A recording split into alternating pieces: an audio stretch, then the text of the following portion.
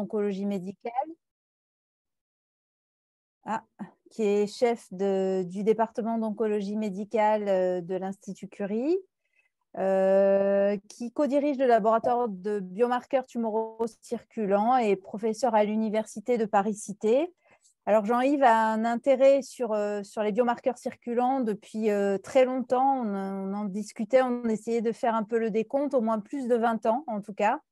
Et c'est vrai qu'il a été vraiment un des précurseurs en France de cette, de cette thématique avec au début les cellules tumorales circulantes et puis ensuite les biopsies liquides avec un, focus toujours sur le, sur le cancer du sein et, euh, et, des travaux qui sont quand même assez, euh, assez intéressants et qui ont, qui ont quand même été d'un apport euh, majeur dans cette thématique-là.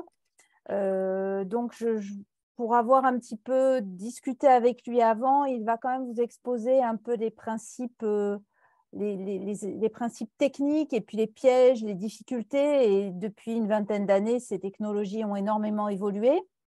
Et puis, il va vous présenter les biomarqueurs circulants avec leur intérêt pour le, pour le pronostic, le suivi, l'évaluation de la maladie résiduelle.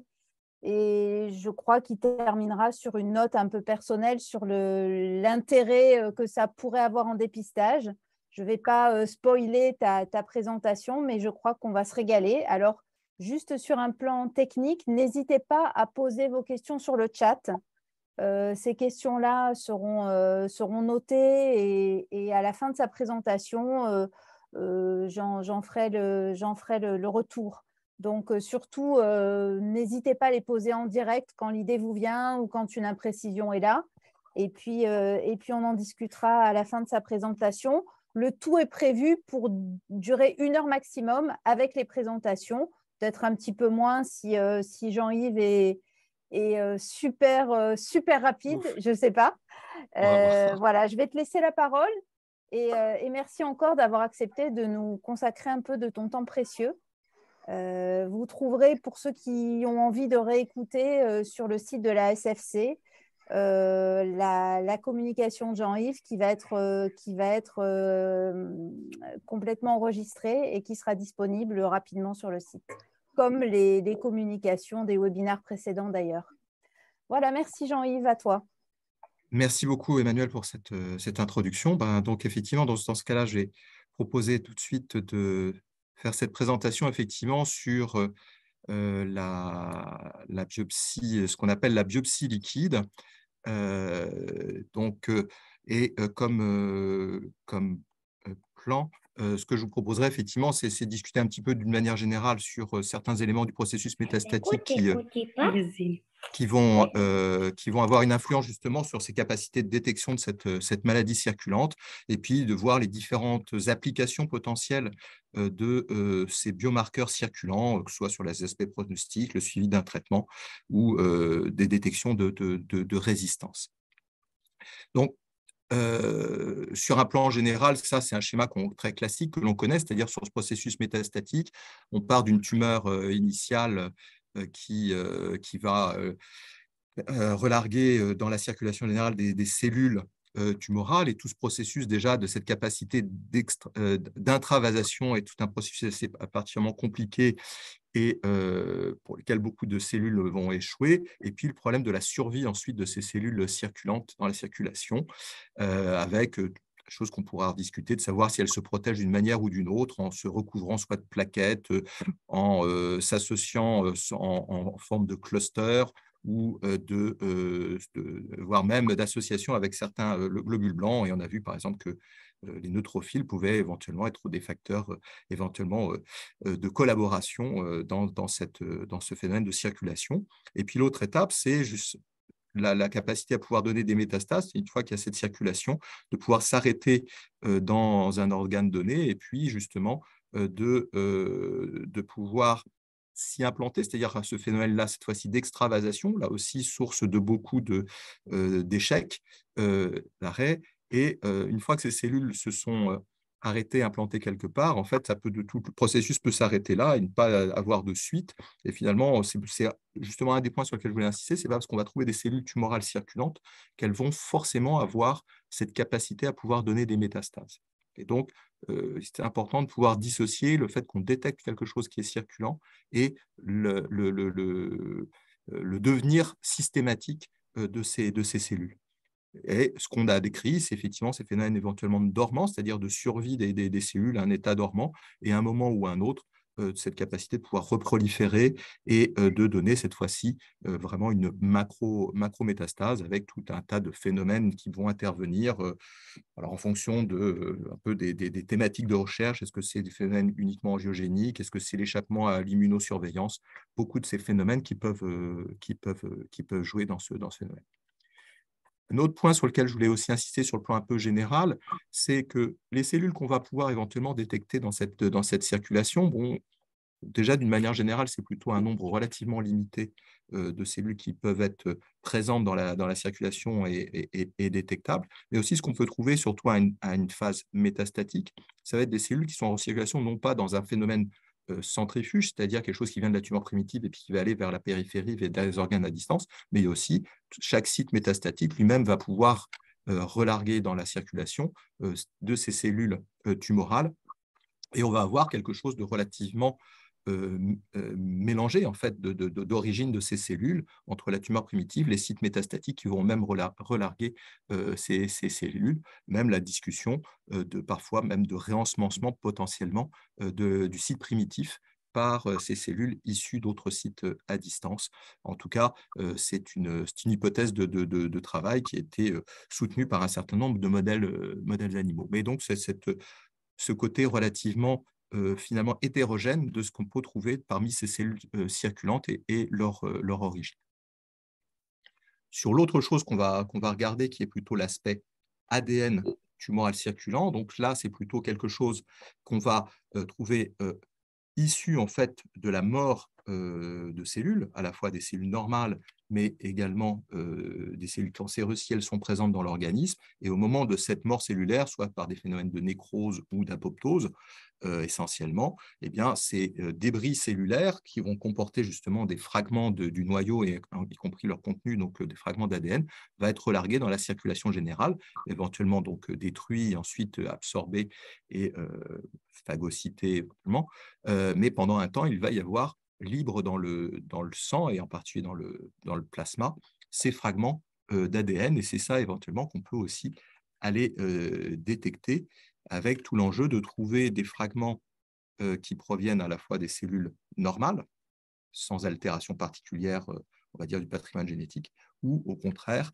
des fragments de, issus des cellules tumorales et qui peuvent être là, par contre, porteurs de marqueurs spécifiques de mutations données liées à ces cellules tumorales. Et on peut prendre peut-être sur cet aspect euh, euh, de recherche de l'ADN tumoral dans le plasma, le raisonnement qui, qui, est un peu ce, qu'on a eu aussi avec le diagnostic anténatal et la mise en évidence d'ADN fœtal dans le sang de la mère.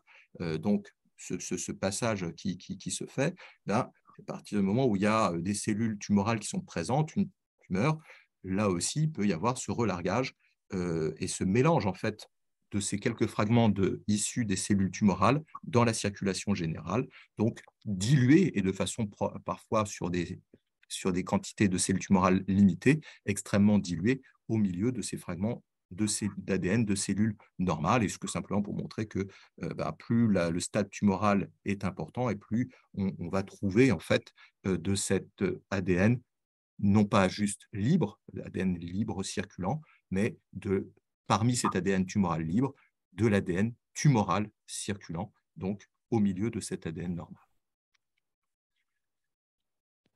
Donc, ce qu'on peut trouver dans la circulation, c'est beaucoup de choses euh, différentes, euh, c'est-à-dire à la fois euh, de euh, l'ADN tumoral circulant, ces cellules circulantes, et puis éventuellement des choses qu'on va retrouver dans des euh, microvésicules relargués, ces, ces, exosomes qui peuvent contenir éventuellement soit des micro-ARN, mais aussi éventuellement de, des fragments d'ADN. Là, sur ce que, mon propos, il va surtout être sur en fait, ces deux grandes catégories, hein, sur les aspects plus euh, développement clinique, qui, ont, qui sont à la fois les cellules tumorales circulantes et puis euh, l'ADN tumoral circulant.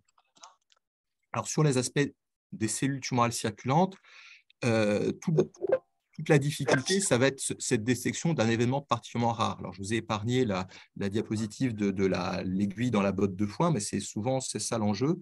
Euh, c'est euh, vraiment un élément très très rare au milieu de toutes les cellules sanguines euh, normales.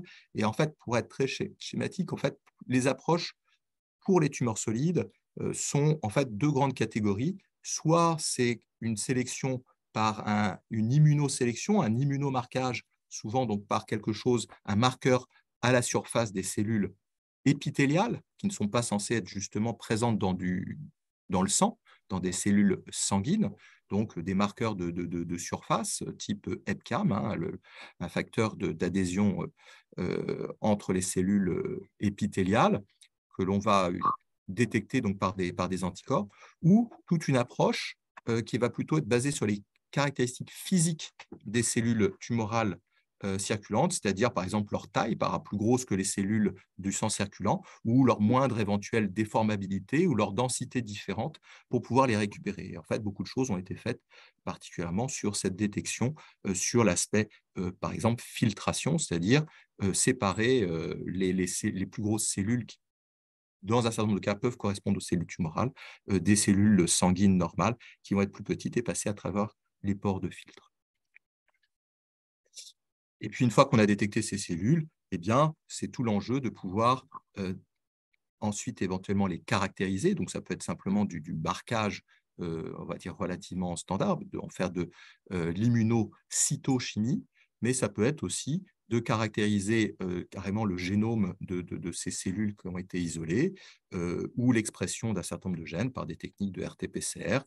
Et puis, ça on le reverra, euh, éventuellement essayer d'obtenir à partir de ces cellules circulantes euh, des lignées, voire même euh, l'obtention de greffes de ces cellules au niveau de, souris immunodéficientes et donc d'obtenir des xénogreffes à partir de cellules tumorales circulantes. Alors, je prendrai un premier exemple sur les aspects technologiques. Hein. C'est un système qui existe depuis maintenant très, longtemps, qui, propose en fait euh, de euh, rechercher ces cellules tumorales circulantes. Et en fait, c'est euh, de, de se baser simplement sur le fait que les cellules épithéliales, donc des cellules de carcinome, vont exprimer des, marqueurs de cellules épithéliales, donc d'avoir des anticorps anti-EPCAM, qui eux-mêmes sont connectés, enfin liés à des microbilles, en fait plutôt des nanobilles, en fait, hein, c'est du nord d'une euh, des nanomètres, hein, c'est des ferrofluides qui vont être euh, connectés à, cette, euh, à cet anticorps. On va mélanger donc cet ensemble dans le sang circulant ou en ayant éliminé le, le, plasma et appliquer ensuite un champ magnétique qui va permettre de récupérer uniquement les cellules marquées, donc qui expriment à leur surface ce marqueur de cellules épithéliales. Mais pour être sûr euh, vu qu'on cherche un événement rare et qu'il peut y avoir quand même des contaminations par d'autres euh, cellules sanguines, en particulier les, globules blancs, on va faire d'autres euh, marquages supplémentaires de cellules épithéliales, et en particulier utiliser par exemple des marqueurs de cytokératine. Et puis, ça donne des systèmes comme ceci, où on va confirmer que la cellule qu'on a captée a un marqueur de cellules épithéliales, les cytokératines, qu'elle a bien un noyau et qu'elle n'exprime pas un marqueur de globules blancs. Donc, c'est un des systèmes euh, qui, est utilisé depuis euh, effectivement euh, longtemps pour sur cette détection, avec lequel il y a beaucoup d'études cliniques qui ont été menées et qui permettent d'éliminer, en tout cas en partie, un certain nombre de, faux positifs éventuels qui pourraient correspondre à des cellules hématopoïétiques qu'on aurait, qu'on aurait captées. Et donc, ce qui a été montré depuis très longtemps, donc Emmanuel parlait de, plus de 20 ans de, mais voilà, premiers travaux euh, montraient que bah, dans des cas de cancer euh, métastatique euh, de différents types, prostate, cancer du sein, côlon, poumon, bah, on pouvait trouver de ces cellules à des stades avancés de la maladie, en quantité plus ou moins importante en fonction souvent du stade de la maladie.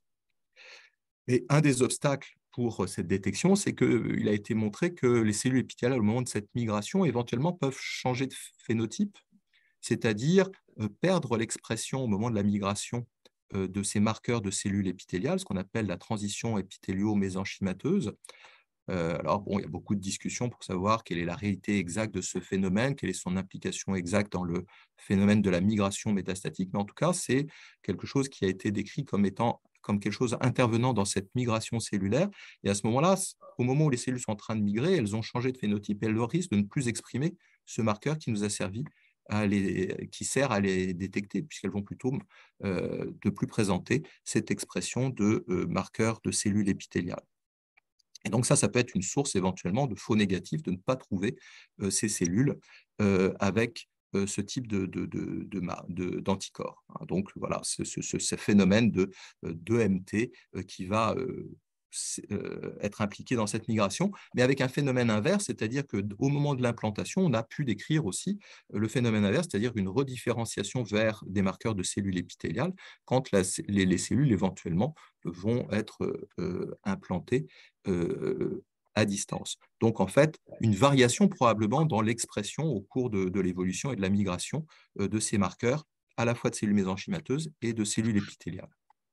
J'insiste là-dessus, c'est simplement parce que c'est quelque chose qui peut effectivement euh, jouer particulièrement euh, dans euh, les problèmes de détection des cellules alors qu'elles sont présentes. Une des façons d'aborder le problème, et ce que je disais au début, ça peut être de, se baser sur des phénomènes physiques, c'est-à-dire de dire, bah voilà, on peut s'abstraire de ce qu'elles vont exprimer à leur surface et simplement essayer de les sélectionner par des, euh, par des facteurs de taille, par exemple, donc les techniques de filtre. Hein, donc c'est une des premières techniques qui a été proposée, la technique IZ, euh, de, donc d'utiliser des systèmes de filtration. Donc ça va passer à travers des, des pores euh, de taille plus ou moins définie, donc de l'ordre de 8 microns par exemple ici dans ces exemples, et les cellules tumorales vont rester bloquées sur le filtre alors que les cellules sanguines vont passer à travers cela. Mais ça nécessite de toute façon de faire quand même un travail d'évaluation de, euh, cytologique quand même, de voir si ce qu'on a récupéré correspond bien à des cellules tumorales et s'il n'y a pas aussi de grosses cellules hématopoïétiques,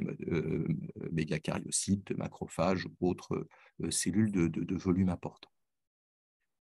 Et puis, il y a tout un tas d'autres technologies. Maintenant, j'en prendrai juste quelques-unes. Je pas forcément de, euh, d'actions spécifiques dans, l'une ou l'autre, mais c'est plus montrer l'ingéniosité qui a été mise pour essayer de découvrir, euh, de trouver des techniques pour détecter ces, cellules. On en décrit même déjà plus d'une cinquantaine, déjà sur des articles anciens, mais euh, par exemple celle-ci qui propose en fait là aussi de jouer plutôt sur la taille en faisant passer donc les cellules du sanguine globalement à travers euh, des, canaux hein, sur des techniques de, de, et les canaux vont se rétrécir progressivement euh, comme une espèce de marche d'escalier. Il n'y a que les cellules sanguines euh, de petit volume qui pourront passer tout à travers ce, trajet, et on va capter à l'intérieur de la puce les cellules les plus volumineuses et donc récupérer ces cellules, a priori, pouvant correspondre à des cellules tumorales ou des techniques de marquage, où on va faire au contraire tout un travail de lecture, de scanning automatisé on va prendre tout, en fait, hein, on ne va pas sélectionner, on va ensuite les sélectionner sur les images, sur les immunomarquages, en fluorescence par exemple, dans ce, type-là. Donc une analyse systématique, automatisée de, des images et de sélectionner uniquement que les cellules marquées, mais en ayant fait un travail énorme de, screening très vaste sur toute la quantité de sang étalée.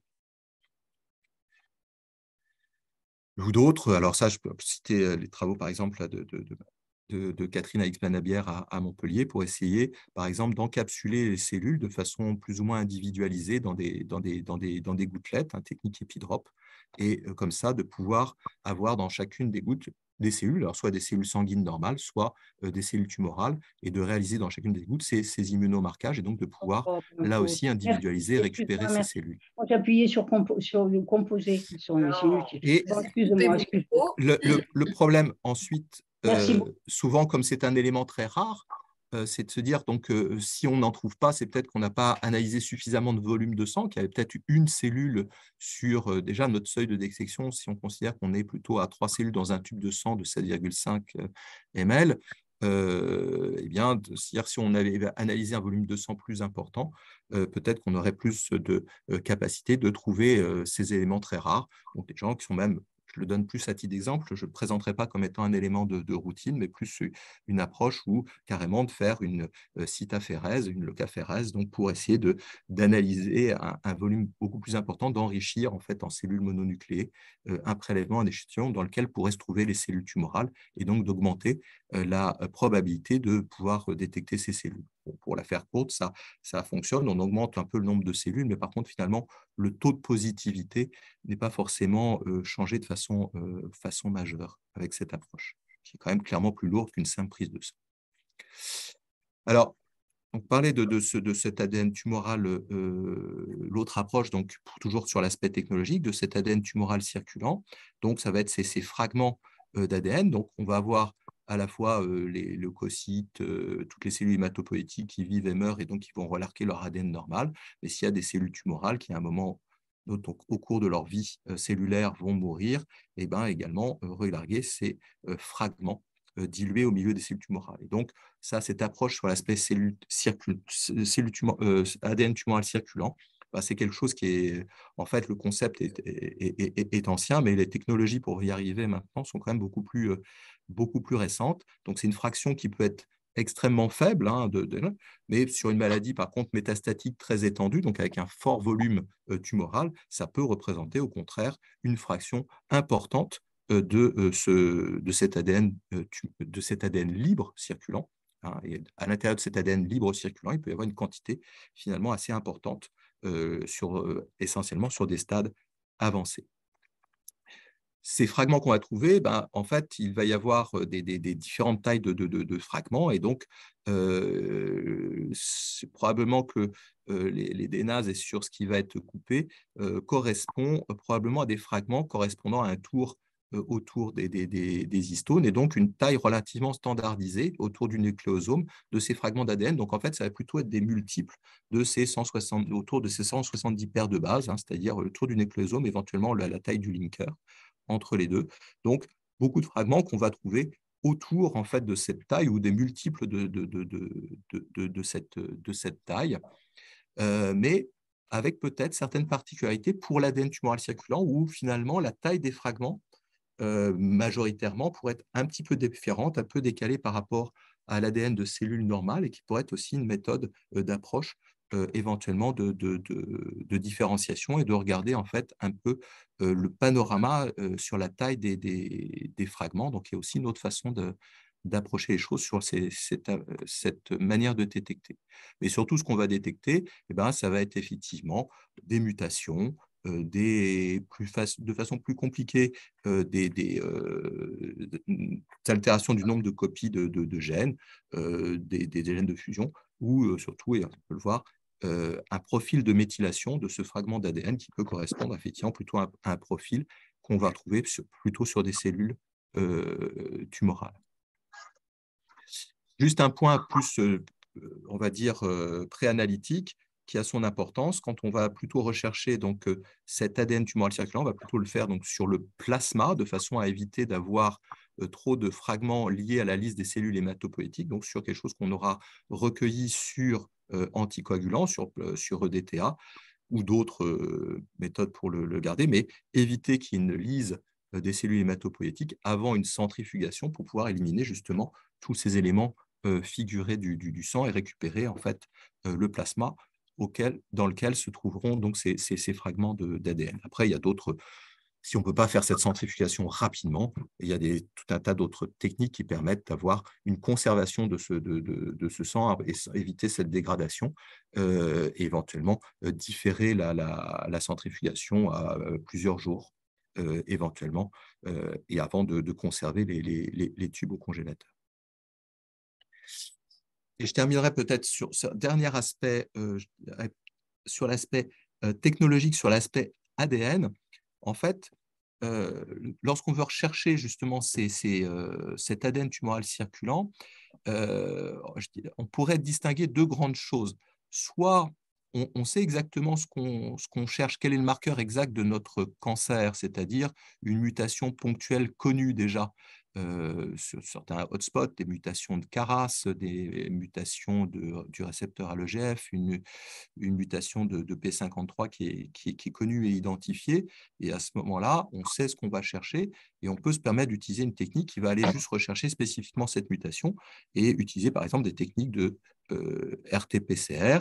Euh, digitales qui permettent de, de, de, faire une amplification et donc pouvoir rechercher un événement particulièrement rare et on sait exactement ce qu'on va chercher. À l'inverse, si on ne sait pas trop en fait ce qu'on cherche comme caractéristique du cancer qu'on est en train de détecter ou de caractériser, ben là, il faut faire du séquençage pour voir s'il y a des anomalies caractéristiques d'un cancer dans, dans l'échantillon sanguin. Et là, ça nécessite plutôt de faire une technique de séquençage. Mais les techniques, on va dire, relativement anciennes, nécessitaient une quantité importante de cet ADN pour faire ce séquençage, et donc une sensibilité très faible. Donc, il faut aller une grande quantité, donc plutôt une maladie particulièrement avancée ou très proliférante pour qu'il y ait beaucoup de nécrose, donc beaucoup d'ADN. Donc, les techniques maintenant intermédiaires sont des techniques de séquençage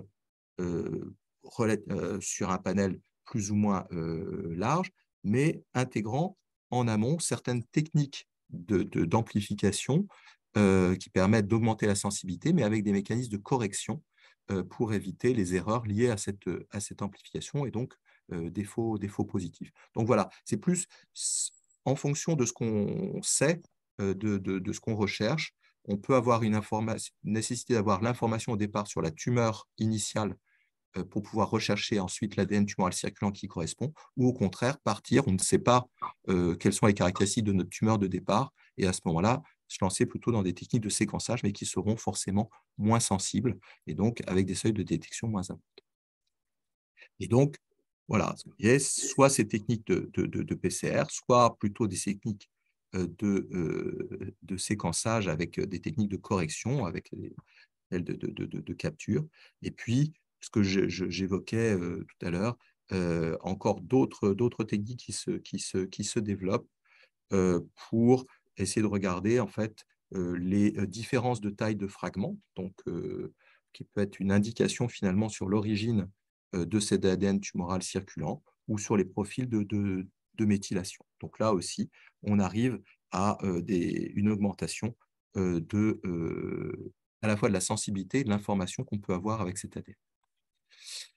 Mais, et un point euh, qu'on verra, c'est que si on va très très bas dans la sensibilité, c'est-à-dire si on va vraiment chercher un événement particulièrement rare, eh ben, on peut être confronté au problème qui augmente avec le vieillissement, c'est que même au niveau de nos cellules normales, on peut avoir un, bruit de fond d'un certain nombre de euh, mutations au niveau euh, de l'hématopoïèse, sans qu'on ait forcément le développement de, cancer, mais il y a tout un tas de panels maintenant de, mutations qu'on voit apparaître, et cette fréquence euh, augmente avec l'âge. Et donc, il y a un bruit de fond de mutations qui peuvent correspondre aussi à être celles qu'on peut retrouver au niveau de, de cellules tumorales, donc pouvant là aussi créer des, des, faux positifs si on ne corrige pas par rapport aux autres cellules normales avant de conclure à la détection d'ADN tumoral circulant. Voilà. Alors, non, je passerai plus sur les aspects euh, clinique. Donc, la détection de, ce de ces marqueurs circulants, soit l'ADN ou les cellules, ben, ça peut permettre euh, de euh, ces cellules. Et ce qu'on a vu dès le départ, hein, donc là c'est pareil, c'est très ancien, c'est que bah, plus on trouvait de ces cellules tumorales circulantes, plus à un stade métastatique d'une maladie, bah, plus le pronostic était défavorable. Donc un élément pronostic important dans le cancer du sein, du côlon, de la prostate, ça c'était avec les techniques dont, je vous ai parlé au, tout début, euh, donc dite cell search. Ça, c'était dans le cancer du poumon, ça montre là exactement la même chose. Mais est-ce que ça sert à, quelque chose d'avoir juste cette information, on va dire, purement pronostique à un stade avancé de la maladie? Bah ça, C'est ça un, des éléments qui est souvent discuté d'avoir juste un élément purement pronostique sur lequel on ne va pas forcément stratifier une stratégie thérapeutique, ça n'a pas forcément toujours d'intérêt. Alors, c'était juste pour donner un exemple sur euh, quelque chose qu'on avait euh, euh, réalisé dans le cadre de, d'un stick, hein, donc c'est PHRC, mais plus dans l'esprit démontrer qu'une technique innovante et coûteuse peut servir à quelque chose, mais c'est quelque chose relativement sens, c'est de dire que dans les cancers du sein métastatiques qui sont censés être hormonosensibles, est-ce qu'on fait de la chimio ou plutôt de l'hormonothérapie à la première ligne métastatique? Parfois une discussion qui pouvait y avoir, en tout cas il y a, plusieurs années. Et donc, est-ce que les cellules circulantes pouvaient aider dans, ce choix? Bah, C'était ce qu'on avait évoqué dans, ce, dans cette étude. Et donc, on, on recherchait s'il y avait un taux élevé de cellules, on se dit que le pronostic était plus agressif, et donc on, conseillait de faire plutôt de la chimio. Si par contre le taux de cellules était bas, on conseillait plutôt de faire de l'hormonothérapie. Et en fait, l'essai était randomisé, c'est-à-dire qu'on donnait ou non l'information aux cliniciens. Donc, il y avait un bras où on faisait on menait la stratégie thérapeutique basée sur le taux de cellules, ou au contraire un bras où on menait la stratégie thérapeutique basée sur le bon sens clinique, enfin l'impression clinique du, praticien. Pour euh, la courte, finalement, euh, on a montré que globalement sur euh, les deux bras, c'était équivalent, c'est-à-dire que que ce soit le bon sens clinique ou le taux de CTC, la, durée de survie des patientes au final était identique. Mais par contre, ce qu'on a quand même observé, c'est que pour celles où il y avait justement une indication clinique euh, plutôt euh, rassurante pour laquelle on n'aurait pas fait forcément de la chimiothérapie, mais finalement on avait eu l'information que le taux de cellules était élevé. donc on avait fait à ce moment-là de la chimiothérapie parce qu'on avait l'information, alors que dans l'autre bras on n'avait pas l'information et donc on n'avait pas fait de chimiothérapie alors que les cellules étaient élevées, ben, il y avait quand même un, un bénéfice sur les patientes d'avoir la chimiothérapie plus que l'hormonothérapie à ce moment-là. Donc, peut-être effectivement une utilité d'avoir cette information, donc peut-être un début d'utilité clinique. Simplement, depuis la façon de traiter les cancers du sein, euh, ce qu'on appelle euh, hormonosensible, a changé et on utilise des thérapies ciblées associées à l'hormonothérapie qui euh, arrivent à des niveaux d'efficacité de ceux de la, de, la, de la chimiothérapie. Et donc, la question doit maintenant être revue à l'aune de, cela. Donc, simplement pour montrer là aussi que, bon, c'était avec les cellules, mais c'est aussi avec l'ADN, c'est-à-dire que la quantité d'ADN, là aussi dans du cancer du sein métastatique, bah, s'il y a beaucoup d'ADN tumoral circulant, bah, il y a le pronostic qui est plus défavorable que quand il y en a euh, peu. Euh, et donc, voilà, euh, cet élément, ça c'est dans du cancer du, poumon, et eh bien effectivement, là aussi, plus il y en a, et plus le pronostic est, est réservé. Donc, ça, c'était une possible utilisation de cette information de, la de, euh, ces facteurs circulants, mais effectivement relativement limité dans son, dans son, dans son utilisation. Et donc, on va voir qu'il y a effectivement différentes étapes où on peut avancer pour cette, euh, cette détection, pour essayer de montrer qu'on a aussi effectivement ce qu'on appelle le but ultime, l'utilité clinique euh, de, de cet outil, de ce biomarqueur. Alors, ça peut servir à suivre l'efficacité d'un traitement. Donc, là aussi dans du cancer du sein métastatique, de montrer qu'on peut, puisque c'est l'avantage de faire une prise de sang, ça c'est facile à, répéter par rapport à faire une biopsie euh, d'une métastase, et simplement pour montrer que pour des patientes qui recevaient euh, un premier traitement pour un cancer du sein métastatique, là vous avez en vert celles qui avaient un taux euh, faible de cellules et qui étaient toujours faibles après un mois de traitement, eh bien, elles ont un bien meilleur pronostic que celles en rouge qui avaient un taux élevé de cellules au moment où commençait le traitement et qui restaient toujours élevées après un mois de traitement. Euh, un taux élevé. Et en bleu, vous aviez celles qui avaient un taux élevé au départ et qui baissaient euh, au bout d'un mois de, traitement sur l'échantillon suivant, qui ont clairement une amélioration de leur pronostic. Donc, éventuellement, possiblement, un outil qui peut servir à euh, faire le, suivi. Ça, c'est la même chose, c'est dans des cancers du poumon, c'est juste pour montrer que ça peut servir d'autres choses. Ou, toujours prendre la même chose, c'est les cellules circulantes, mais ça peut être aussi sur le taux d'ADN et de voir si ce taux d'ADN initialement élevé diminue euh, sous l'action euh, du traitement avec un prélèvement plus ou moins rapproché. Donc, une discussion de savoir quelle est la bonne cinétique à adopter pour faire cette évaluation. Euh, mais là aussi, dans du cancer du poumon, donc ça peut servir pour évaluer de, la thérapie ciblée, une immunothérapie pour voir s'il y a une réponse rapide. Donc, il y a tout un développement qui a été, fait justement sur cette approche du biomarqueur, de voir si sa baisse est associée clairement au, au, au pronostic. Et donc, ça, un des premiers exemples de, travail euh, du collègue euh, Luc Cabel, qui avait montré qu'effectivement, euh, pour une immunothérapie, c'était une petite série, maintenant beaucoup de séries beaucoup plus importantes ont montré la même chose, que bah, si on avait un taux de ctDNA toujours élevé après huit semaines d'une immunothérapie, le pronostic était beaucoup plus défavorable que s'il avait carrément chuté ou était devenu indétectable à l'issue des huit premières semaines de cette immunothérapie. Mais par contre, ce concept de se dire bah, on va pouvoir euh, suivre le traitement, euh, ça a été particulièrement euh, obéré après dans son développement par d'autres résultats qui ont montré que bah, certes, on peut effectivement suivre l'évolution et ce moment-là, si ça baisse pas, éventuellement changer le traitement. Mais ce qu'avait montré cet essai randomisé, c'était voilà, on changeait le traitement ou non si le taux de CTC ne baissait pas rapidement après un mois de traitement. Ce que ça montrait, c'est que bah, voilà, on avait un bon pronostic quand on n'avait pas beaucoup de CTC, on avait un très mauvais pronostic quand on avait beaucoup de CTC et que ça euh, que ça ne baissait pas et qu'on avait un pronostic meilleur si c'était élevé au départ et euh, qu'on on, avait baissé. Mais par contre, de changer ou non le traitement de façon plus précoce en se basant sur les cellules, ça ne changeait rien au pronostic. Mais ce n'est pas la faute des CTC qui ne montraient pas de bénéfice, c'était plutôt le fait qu'on n'avait pas de traitement de rattrapage qui soit réellement efficace pour changer la donne. Et donc, pour montrer que là aussi, ben, on peut avoir la même chose un peu sur ce suivi de, l'efficacité d'un traitement, même à des phases plus précoces, hein, c'est dans des traitements néoadjuvants de cancer du sein.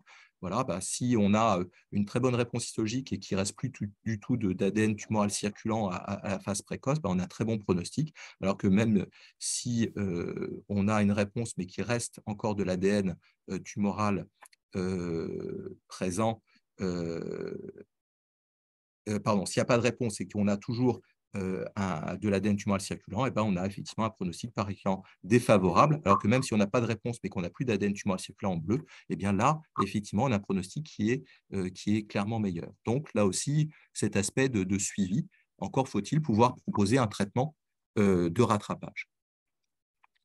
Une autre approche, c'est la détection dite de la maladie résiduelle, c'est-à-dire essayer de dépister plutôt la rechute donc, je prendrai juste là aussi un de ces exemples, c'est-à-dire essai euh, mené par une équipe anglaise qui était, on fait un séquençage de la, tumeur du sein au départ, euh, avant un traitement néoadjuvant, on détecte une mutation d'intérêt qui caractérise euh, ce, cancer, et puis on va le suivre après par des techniques de PCR, donc moins chères justement et plus, plus faciles à réaliser tout au long du suivi de ce cancer.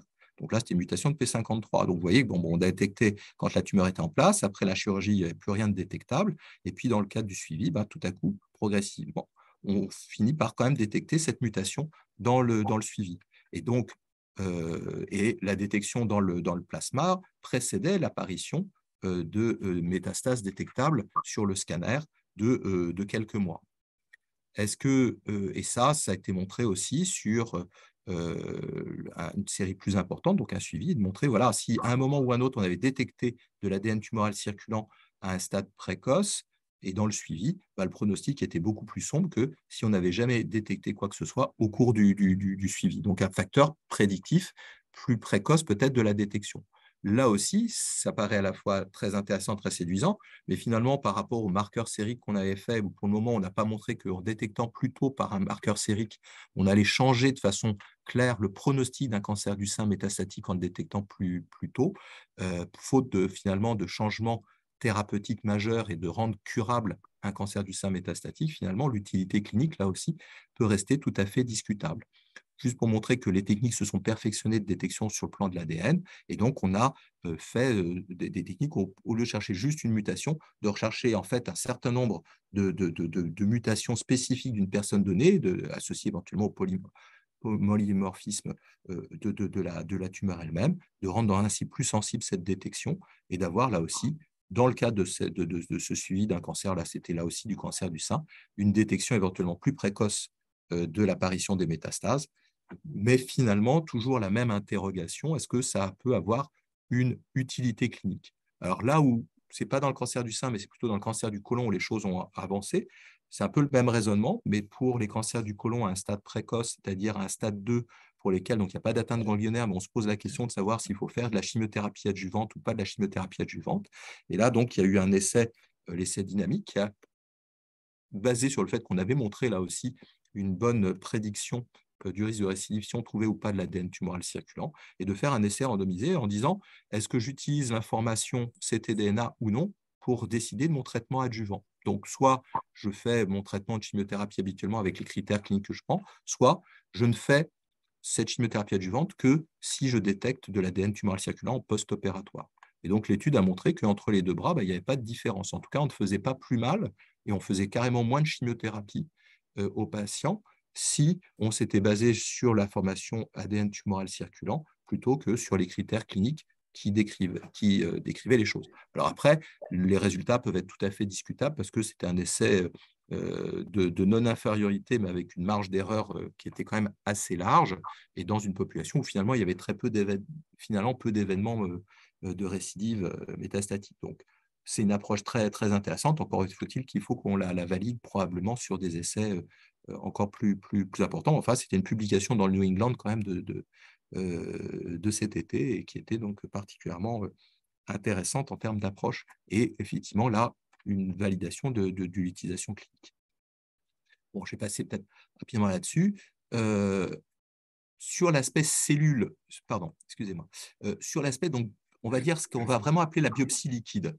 C'est-à-dire, au lieu de faire un prélèvement dans, dans, une métastase, je vais faire plutôt un prélèvement sanguin. Donc, on peut aller rechercher, par exemple, sur des cellules qu'on a détectées, un marqueur comme PDL1 sur des cellules tumorales circulantes. Ça aussi, c'est un travail de l'équipe de Catherine Alix-Panavière à, à, Montpellier, montrant qu'on pouvait le faire. Donc, un de ces marqueurs qui peut être utilisé éventuellement.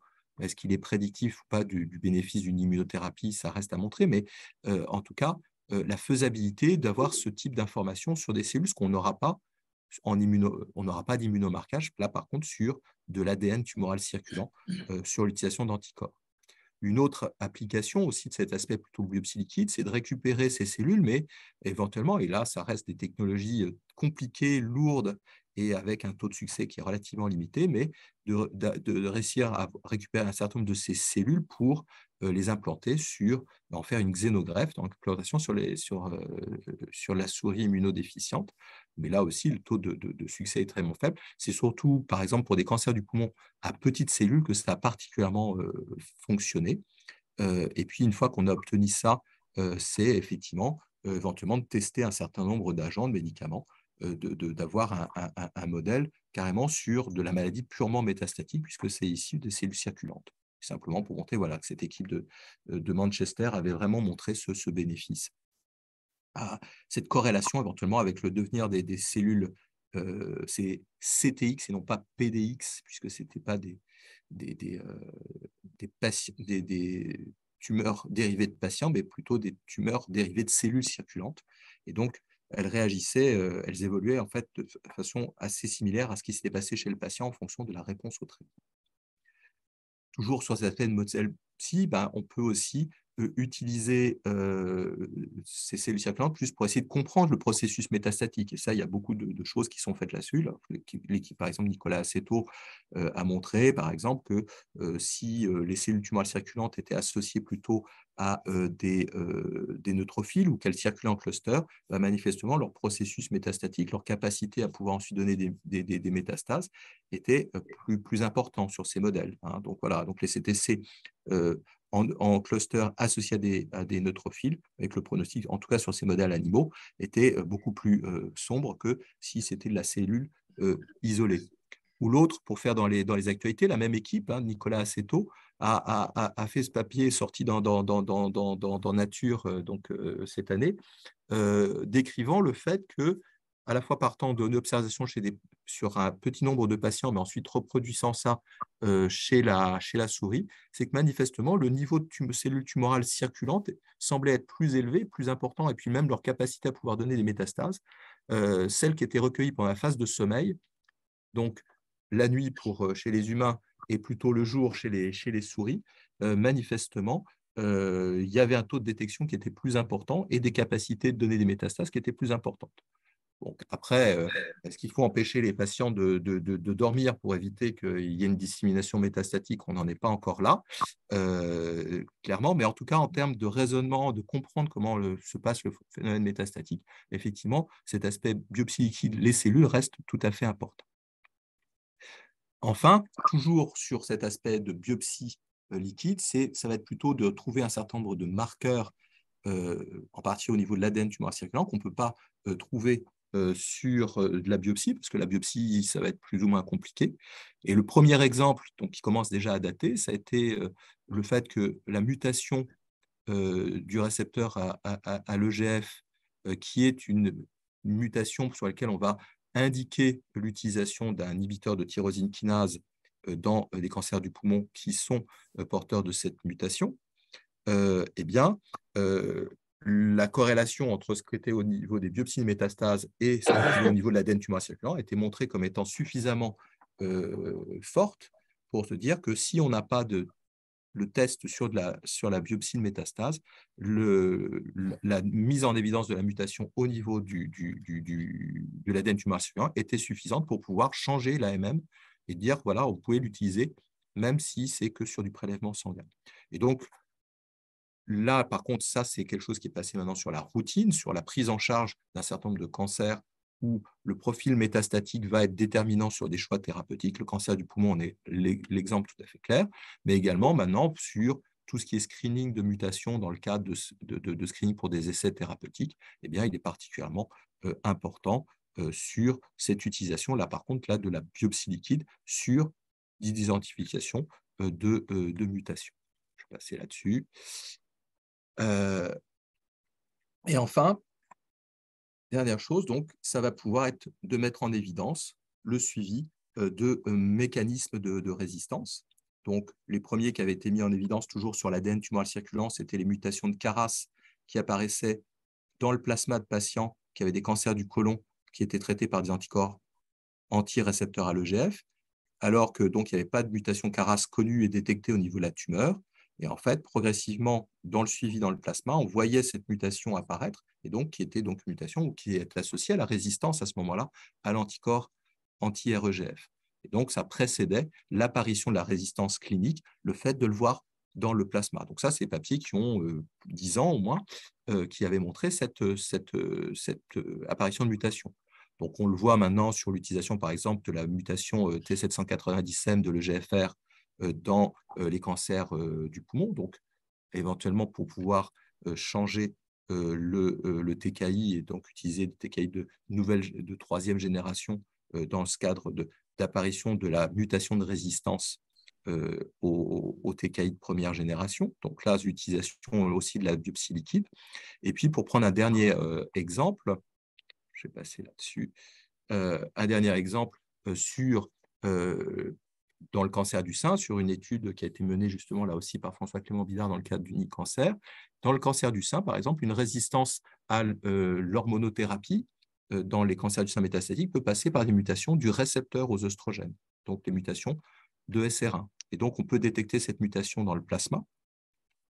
Et une étude euh, qui s'appelle l'étude Padawan a proposé d'essayer de détecter cette mutation avant que apparaisse une résistance clinique au traitement. Et donc, les patientes qui recevaient un traitement anti, euh, euh, anti-hormonal plus une thérapie ciblée qui est un anti-CDK euh, se voyaient prélever tous les deux mois pour voir si on détectait dans le plasma l'apparition de la résistance à l'hormonothérapie. Et la question qui est, qui est posée l'étude, c'est si on voyait apparaître cette mutation de résistance à l'hormonothérapie alors que la patiente n'avait pas de progression clinique, est-ce qu'on continuait le même traitement sans rien changer ou est-ce qu'on essayer de prévenir l'apparition euh, de la progression clinique en changeant le type d'hormonothérapie, une hormonothérapie qui pouvait fonctionner alors même que la mutation était présente. Et c'est ça qui était randomisé. Donc on ne changeait pas la thérapie si bien, on changeait juste l'hormonothérapie si la mutation de résistance à la première hormonothérapie apparaissait. Et l'étude a montré que euh, par rapport à celle où on n'avait pas changé, on avait attendu pour changer que la résistance, euh, que la progression clinique soit présente, eh bien, euh, leur durée de survie, bien sûr, sans la progression de la maladie, était inférieure à celle où on avait changé leur monothérapie. Elles avaient une durée de vie sans événement, sans progression, euh, qui était euh, clairement quasiment doublée, hein, passé de 6 à 12 mois de survie sans progression, avec cette approche donc, de biopsie liquide pour rechercher un événement précis de résistance au traitement. Et je termine sur justement, l'autre, un des derniers aspects, c'est euh, est-ce qu'on peut utiliser cette détection euh, des. Alors, pour les cellules tumorales circulantes sur le dépistage du cancer, euh, il y a quelques tentatives, mais là aussi, le problème de la sensibilité, donc sur une maladie vraiment infraclinique, pour le moment, l'aspect cellule reste très, très limité. Il y a plutôt eu des approches avec l'aspect ADN tumoral circulant, et au départ, ça s'est passé de façon un petit peu accidentelle, c'est-à-dire que l'utilisation de la détection euh, euh, de, recherche de l'ADN fœtal chez la mère pour faire du diagnostic anténatal, où on a fait du séquençage de, cet ADN fœtal pour rechercher des anomalies chez le fœtus, eh bien, il y a eu quelques cas sur des milliers de, grossesses ainsi suivies, des cas où on est tombé sur des anomalies génétiques en fait, qui correspondaient non pas à une anomalie chez le fœtus, mais d'annoncer malheureusement à la mère que manifestement, il y avait peut-être un cancer chez elle. Et donc, des cas anecdotiques de, de découverte comme ça de cancer de l'ovaire ou de, ou de lymphome, donc quelques cas tout à fait rares, mais effectivement donnant un, rationnel pour faire cette détection chez des sujets sains pour voir si on peut détecter un cancer.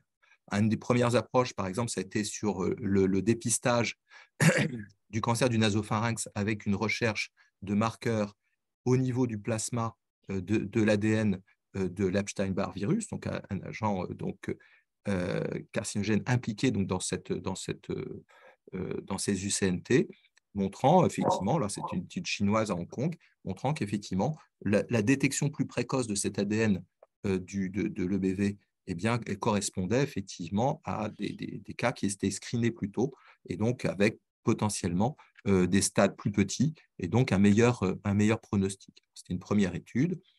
J'ai passé là-dessus. J'ai déjà évoqué le fait que sur l'augmentation de la sensibilité, ben, effectivement, il y a le problème d'avoir des, taux de sensibilité euh, très, très, très, très importants et donc d'avoir euh, cette pollution par euh, nos taux de mutation qui apparaissent au niveau clonal hématopoïétique augmentant avec le vieillissement. Donc ça, je vais passer là-dessus. et montrer que ce qu'on peut essayer de chercher, c'est un certain nombre de, de, de, de mutations mais pas se contenter uniquement des mutations, mais aussi de regarder un profil de méthylation. Donc ça, c'était quelque chose qui a été présenté à, l'ESMO donc, récemment. Enfin, c'est tout un travail de, fait depuis, depuis longtemps, combinant à la fois donc, la détection d'ALADN tumoral circulant, donc caractérisé par des profils mutationnels, mais aussi des profils de méthylation un programme de, d'intelligence artificielle pour vraiment caractériser le profil de chacun de ces fragments d'ADN et de voir si on a un signal qui correspond éventuellement à un cancer. Et donc l'étude a porté sur euh, euh, plus de 6000 euh, patients, enfin pas patients, de, personnes sans, sans cancer connu et de voir si on détectait quelque chose. Et donc il y a eu un signal de détecter chez 92 personnes sur ces 6600 et ce signal détecté a permis de, de, découvrir donc des cancers chez un certain nombre d'entre eux, montrant que là, si on n'avait rien détecté, on avait quand même 86 cas de cancer sur les 6000, donc ce qui fait que bon, c'était un taux de, de valeur prédictive négative qui était quand même assez fort. Mais par contre, lorsque on avait donc détecté quelque chose, il n'y avait pas forcément d'apparition de cancer dans l'année. Ben, après, il y a le problème du recul des nues, mais qu'effectivement, dans 35%, des, dans 35 cas, il y avait sur les 92, effectivement, bien euh, détection euh, et diagnostic d'un cancer dans, dans l'année qui suivait cette, cette, détection. Donc, avec une valeur prédictive positive de, de, 38%. Si on regarde plus, plus donc c'est assez spécifique, mais peu, finalement peu sensible. Euh, mais quand on regarde ce qui a été détecté, euh, bah, il y a beaucoup de, maladies hématologiques et surtout un certain nombre de, lymphomes dedans, un certain nombre de lymphomes de, bas grade. Euh, donc voilà, ça fait, beaucoup encore de, choses. Euh, montrer le bénéfice clinique peut être encore relativement limité.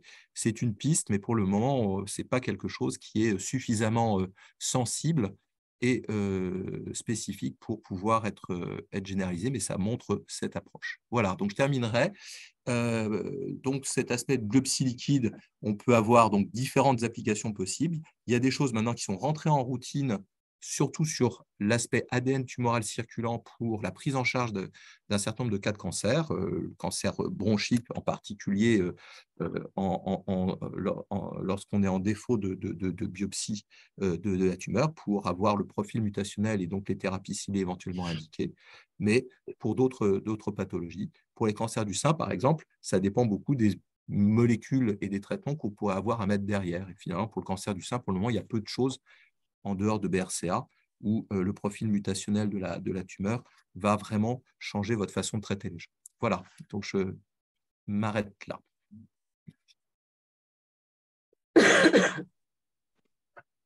Merci Jean-Yves.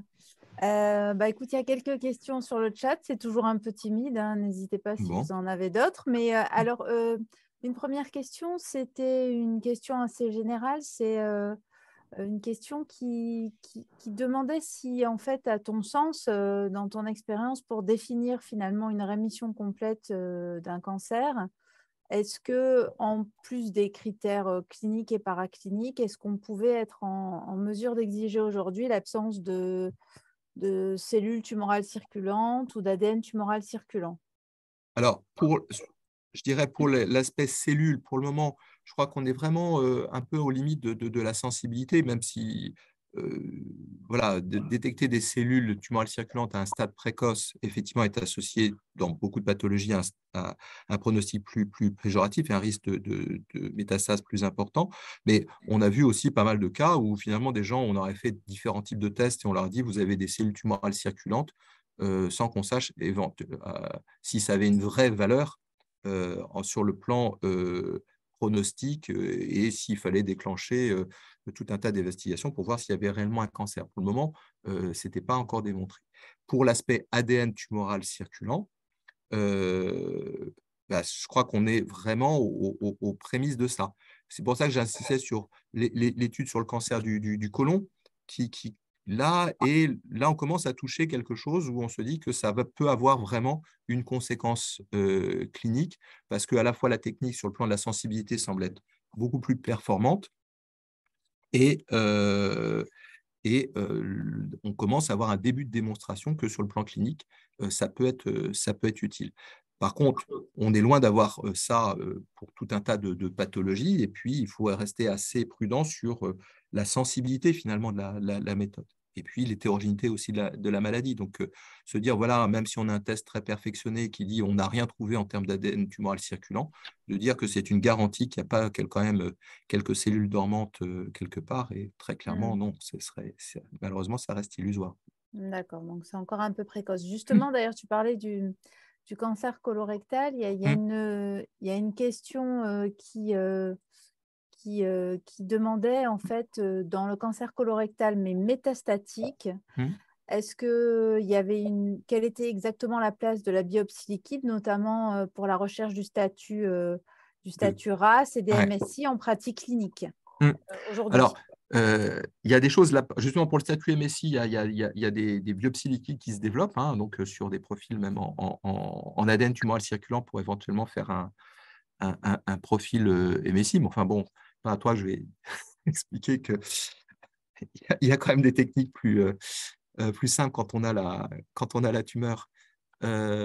pour, pour pouvoir faire cette, cette caractérisation, mais après, peut se poser la question toujours de l'aspect biopsie liquide, éventuellement dans la dynamique, dans le, dans le temps, de voir s'il y a éventuellement Voilà, un changement du- profil. De hein, l'évolution donc- du statut. euh, mais bon, Exactement. c- mais bon, MSI, c'est quand même pas quelque quand même chose plutôt, qui voilà. évolue beaucoup, mais, mais RAS peut-être. Voilà. Alors, la, la- la complication pour, euh, pour, euh, pour RAS, c'est qu'en fait, euh, ce qu'on cherche, c'est l'absence de mutation pour dire qu'on va pouvoir donner une thérapie ciblée, et non pas la présence d'une mutation pour dire Mhm. je vais donner ma thérapie ciblée.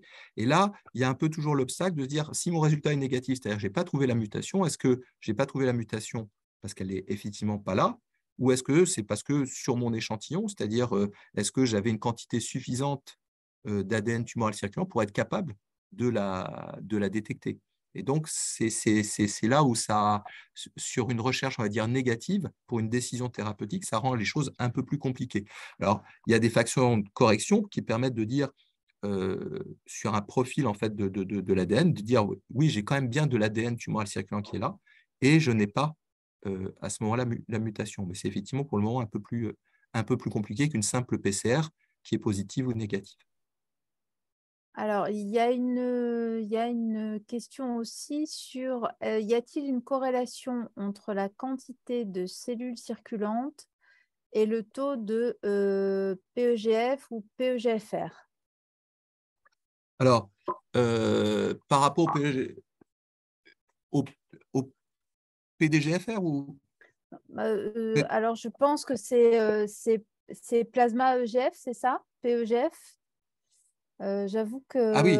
Ouais, non, je, je- Je n'en ai aucune idée.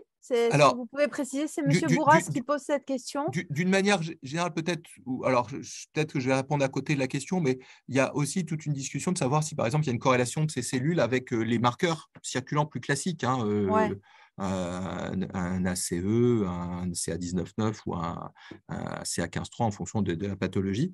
Et c'est alors, par exemple, sur les études qu'on a pu faire dans les cancers du sein métastatiques, non, la corrélation n'est pas, pas très bonne.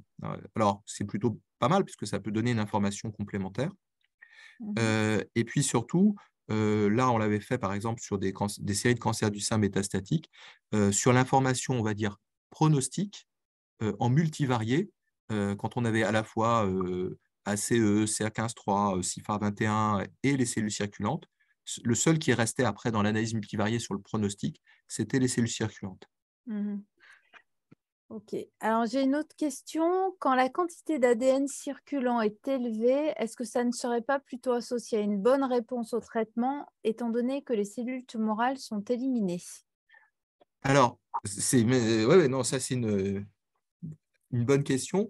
Alors, a priori, de ce qu'on sait, c'est que euh, le temps, on va dire, de demi-vie, de survie de ces fragments d'ADN dans le plasma, on l'évalue comme étant quelque chose de très court. Alors, la durée exacte, euh, sur le plan tumoral, euh, ça n'a pas été très, très clairement mesuré.